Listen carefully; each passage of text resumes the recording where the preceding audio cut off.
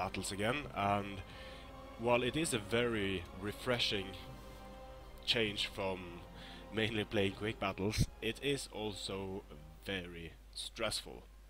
Uh, but that's kind of what I like and what I don't like with with playing tournaments and playing competitive players is that you come up against players that are extremely good and if you have uh, if you mess up the faction selection, if you mess up the build and you get the feeling that shit I've already lost this game at the beginning of the battle, it can be very very difficult to gain that momentum back. So but still, if you want to get better at playing this game, I highly recommend playing tournaments. Uh, not just relying on quick battles for battle experience, because there are things going on in tournaments that you will never, never see in quick battles, and there are things going on in quick battles that you will never have to deal with in tournaments. If you, for example, are tired of facing 12 Evocati or 4 Chariots, there are rules against those things in tournaments. So anyway, this is the Sith 10 year anniversary, I believe it's called the Domination Tournament, and I'm playing against Minot. He's a French guy, and I have brought a Macedonian sword build because I figured, well, Macedonian sword build, that's pretty unexpected. So, four Royal Pel Peltasts in the center, two Thorax swords on the sides, and then I have two Thureos spears, two citizen cavalry, one Thessalian, one mercenary Thracian, and one skirmisher cavalry. Now, my opponent brought the Getae, and his army looks quite formidable and quite large. I have the edge in swords, but he has the edge in just pure numbers. And uh, it's well, Wolf Blade Master says that Heir of Carthage advertised my channel, so that's pretty nice. Thank you. I'll be sure to thank you after I'm done recording this video. So the Mercenary Axe Warriors will be able to deal with my Peltasts if they are getting good flanking and rear charges. Noble Swords, he has two of those. But the the thing that worries me the most actually is it isn't his noble swords and his axe warriors because I can deal with those, but it's his it's it's of all things it's his center line of armored spears, spears because these guys will take forever to kill. If I send my best troops against his armored spears, they are going to lose their charge bonuses when they are going up against his best troops, and his deployment here is very smart because it allows him to hold in the center and then go around the side. So I'm going to have to flank uh, to change my deployment slightly because if I just charge my Royal Peltasts in here, he's going to be able to envelop my smaller army fairly easily, defeat my Thorax swords on the sides, and it's a GG. So I'm kind of thinking, mm, what can I do to sort of not have that happen? And now he's also doing something very smart. He's moving all of his units to the side rather than going head on, so I'm going to have to respond to this in some way, sending some guys up to skirmish with his bow horse so they don't get too many kills on my guys. And he has them on heavy shots, so I might be able to sneak these guys in range, moving these guys out of the range of his uh, of his bow horse. Now, uh, in order to respond to this, there are several things you can do. You can, of course, just pull back, or you can, for example, post your post your keep rotating your lines to to face his head on. But what I want to do here is I want to to reorganize a bit. I want my thorax swords in the center, and then I want to be able to use my peltasts on the flanks to deal with his better troops and also to defend against skirmishing cavalry. So I'm moving my royal peltast behind my thorax swords, reorganizing a bit here.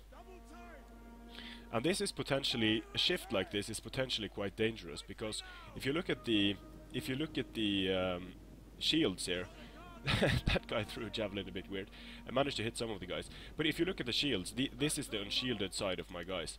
And if if he's able to flank around and get most of his units attacking me this way, it's going to allow him to attack my unshielded side. So I'm kind of doing a disorganized reorientation of my lines because I want to use my shields, obviously.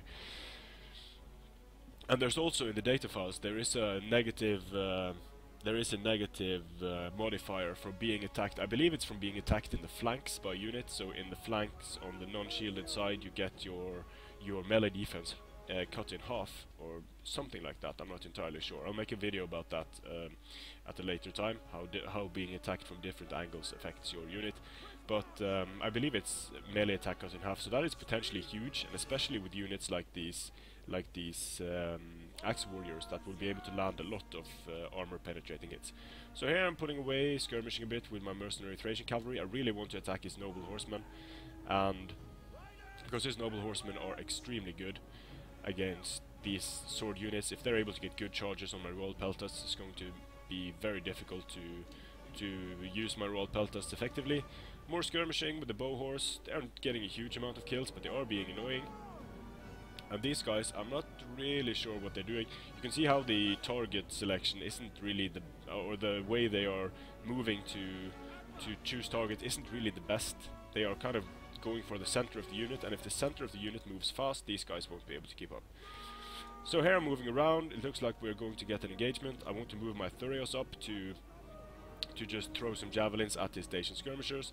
That's going to provoke a response from his cavalry, so I'm just going to go into square with these Thureos real quick, I believe. And I'm also going to throw some javelins with my Royal Peltas on his spear horse. Citizen Cavalry against Noble Horse, that's not a good engagement for me, but I have to try to stop these guys somehow.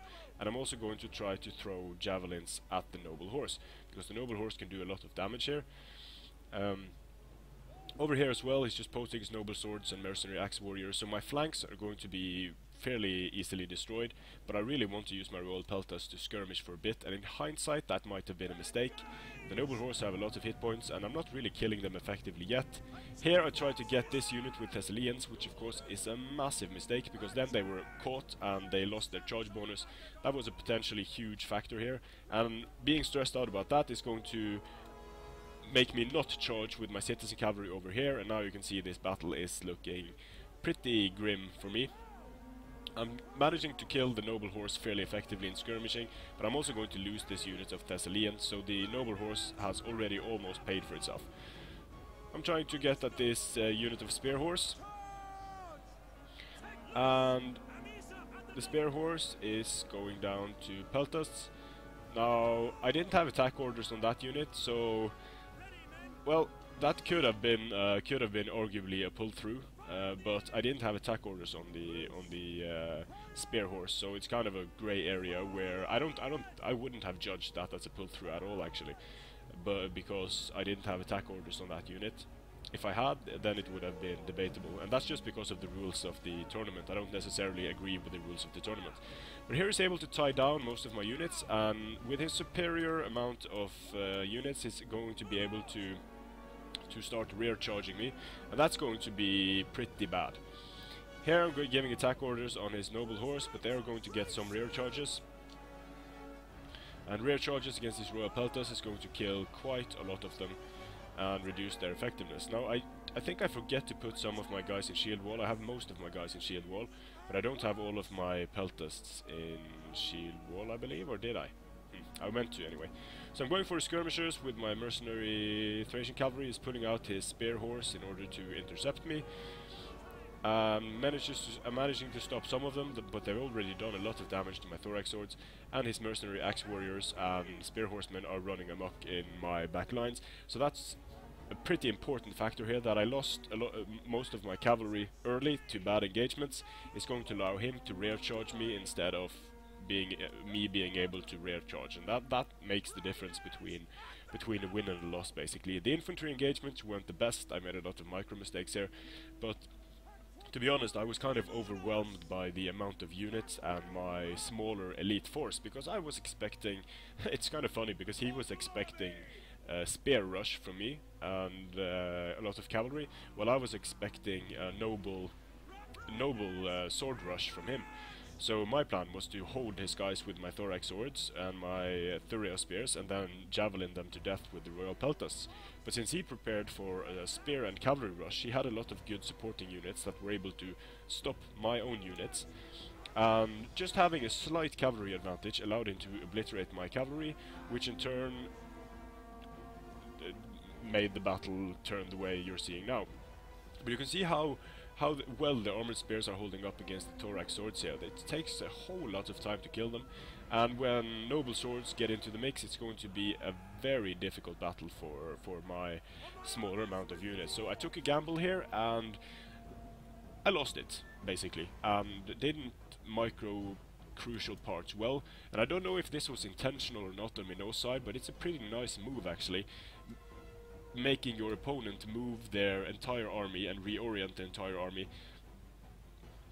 Because if you're busy microing your skirmishers and your and your um, infantry while your opponent has his eyes on his on his um, well, your opponent has his eyes on, on very important cavalry engagements. It can be easy to get caught in those engagements, and and if you lose the cavalry engagement, and all your infantry is tied up, and he has even these small units of of uh, cavalry remaining, it's going to be extremely difficult to win against even with thorax swords against armored spears or even royal peltas. Although they are grinding it out fairly well here against the noble swords, the, the rear charge penalty is just going to just going to be too much for them to deal with. So while the kills weren't that far off, they are kind of deceptively low for Minot because I brought a smaller army than he did.